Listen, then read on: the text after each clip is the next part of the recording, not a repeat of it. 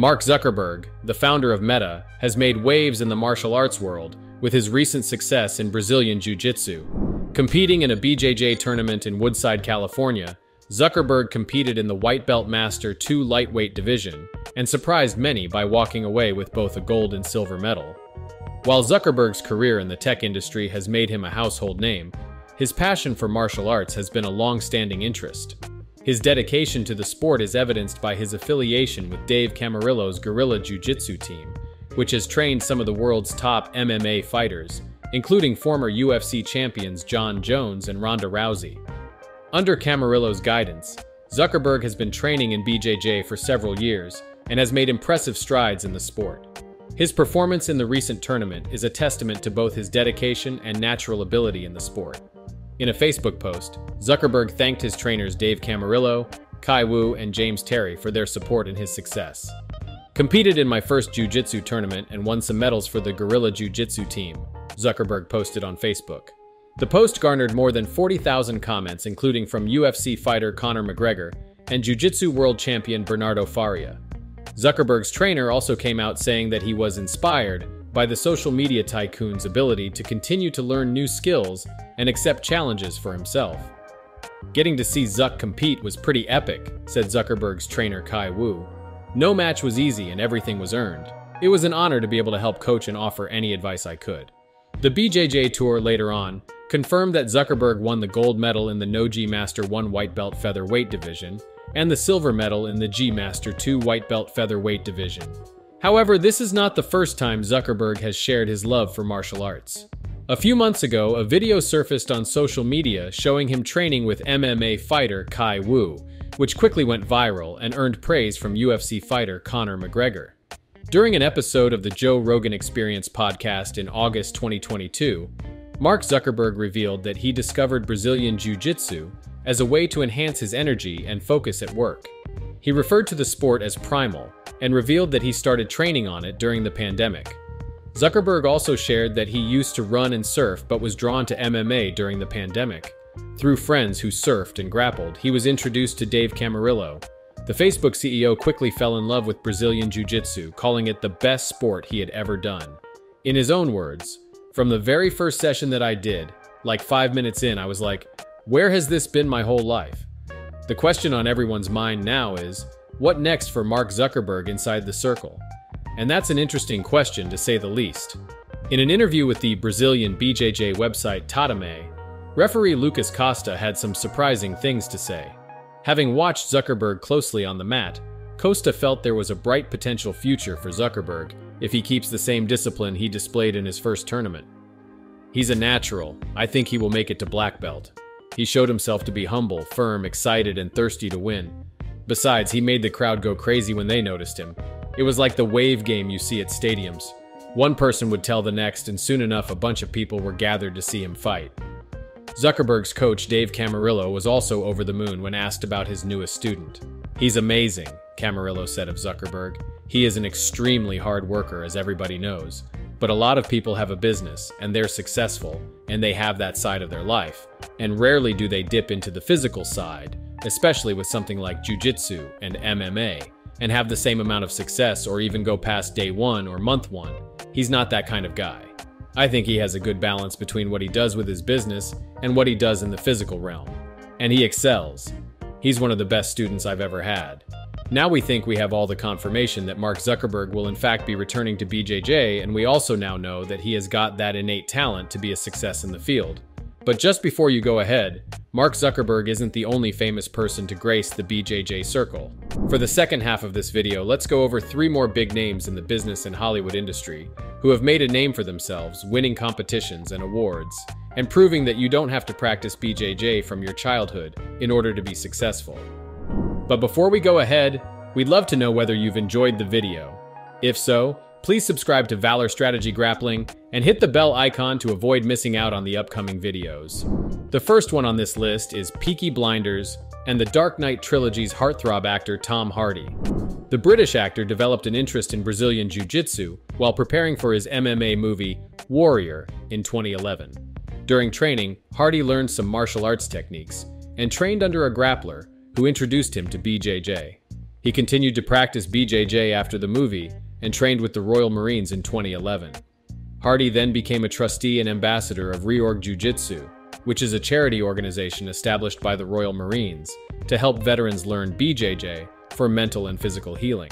Hardy struggled with drug abuse himself and supported Reorg's cause to help others with addiction. He had this to say about addiction. Addiction is difficult and complex stuff to navigate, as is mental health, subjects which are both deeply personal for me and extremely close to my heart.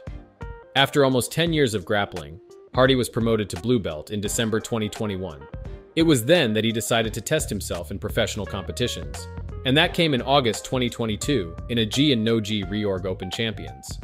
Hardy competed against Danny Appleton, a military veteran and fellow Reorg program member, in the semifinals of the BJJ division. He won the fight by submitting Appleton via an armbar. Speaking to local reporters, Appleton acknowledged that he was stunned Hardy was such a proficient fighter. He's a really strong guy. You wouldn't think it with him being a celebrity. I do okay. I've done about six tournaments and I've been on the podium in everyone. But he's probably the toughest competitor I've had. He certainly lived up to his Bane character, that's for sure. Mohamed Itumain, who was the referee at Reorg Open Championship, was amazed when he saw a famous Hollywood actor competing in a BJJ tournament. He did not imagine Tom Hardy to be a great fighter, but when Itumain watched Hardy compete, he became speechless. He is really legitimate. A lot of people think, oh, Tom Hardy, he's just a superstar. No, you get him on the mat and he'll smash you. And just recently, Hardy secretly competed in the Milton Keynes Brazilian Open Jiu Jitsu Championship and won by submitting Andy Leatherland with a leg lock submission. Upon his loss, Leatherland was surprised by how professional Hardy was. He did not say a word, he did not say anything. I made a mistake and he capitalized on that. He absolutely nailed it and he subbed me, and it was over relatively quickly. Hardy summed this all up when he posted on Instagram about his BJJ adventures. Simple training for me has been fundamentally key to further develop a deeper sense of inner resilience, calm, and well being. I can't stress the importance it has had and the impact on my life and my fellow teammates. Hardy also said, It is an honor to be able to represent nonprofit organization Reorg and the great work they do supporting the mental health and well being of veterans of service, military, and first responders through the therapeutic benefits of jujitsu and fitness training. Next up, we're going to discuss Hollywood's nicest guy, who also happens to be the most badass too. It's none other than Keanu Reeves. Keanu Reeves has appeared in many successful films, including the John Wick franchise, The Matrix, and Man of Tai Chi. In the John Wick movies especially, Reeves plays a retired hitman who gets in trouble with Russian gangsters and has to fight his way out of danger. We all know how demanding the series has been for Keanu, and an action packed thriller like it needs intense preparation too. And for that, Reeves had to learn several martial arts, including Brazilian Jiu Jitsu, Judo, Krav Maga, and Wushu. Reeves trains Brazilian Jiu Jitsu under the Machado brothers and is currently a white belt in BJJ, which is the first colored belt in the discipline. He is also an honorary black belt in Judo. In the John Wick films, Reeves showcases his martial arts skills, using techniques from various systems such as Krav Maga, Japanese Jiu Jitsu, Brazilian Jiu Jitsu, and Standing Judo. Chapter 4 of the John Wick series has taken its action to the next level with a slew of assassins out to hunt Keanu Reeves' character. The stakes are high, and so is the action. Therefore, in the latest installment, we saw Reeves using even more Brazilian Jiu Jitsu techniques in combination with katanas and guns. However, his interest in martial arts is not limited to his acting career. He devotes much of his time to training and improving his skills.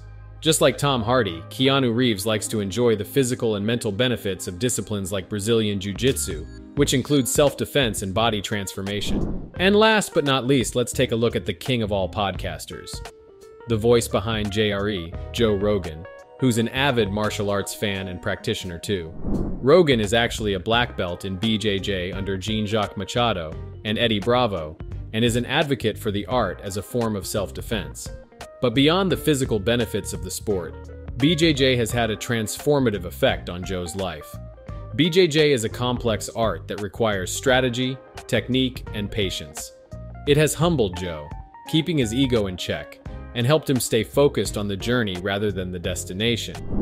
Martial arts helped me with uh, with that tremendously because it was the first thing that I ever did where I didn't feel like a loser. Mm. It's like the first thing that I ever did where people like respected me and they liked me for it. You know, I'm like, wow, this is like some. This it was a feeling that I was completely unused to in the 14 previous years of my life. All of a sudden, there was this this feeling that I was unusual. I was unique. I was special. Wow. Joe's journey in BJJ started in 1996, and he's trained with some of the best BJJ practitioners in the world, including Rickson Gracie and Jean-Jacques Machado. Rogan began competing in Taekwondo tournaments at 15 and claimed his US Open title four years later. His instructor first had him fight in the black belt division when he was a blue belt, explaining to Rogan, The only way to make steel is to throw iron in the fire. So I was obsessed with it. So I was training every day, all day long. And then my instructor recognized it really early on. So he uh, allowed me to train there for free and just I would teach classes. And teaching classes helped me a lot as well because when you're teaching, you're breaking down techniques and you're you know you when you're showing someone how to do it you're really cementing those pathways in your own mind joe's enthusiasm for bjj has helped bring the sport into the mainstream as a well known comedian and host of the popular podcast, The Joe Rogan Experience, he's introduced many people to the sport and helped increase its popularity. He was also a host of the popular reality show Fear Factor and Massachusetts full contact Taekwondo champion for four consecutive years. Rogan has even trained other people in the art of Taekwondo. As for his podcast, he has used JRE to showcase some of the best BJJ practitioners in the world, including Eddie Bravo and Gordon Ryan. In conclusion, Joe Rogan's love for BJJ goes beyond just physical exercise or self defense.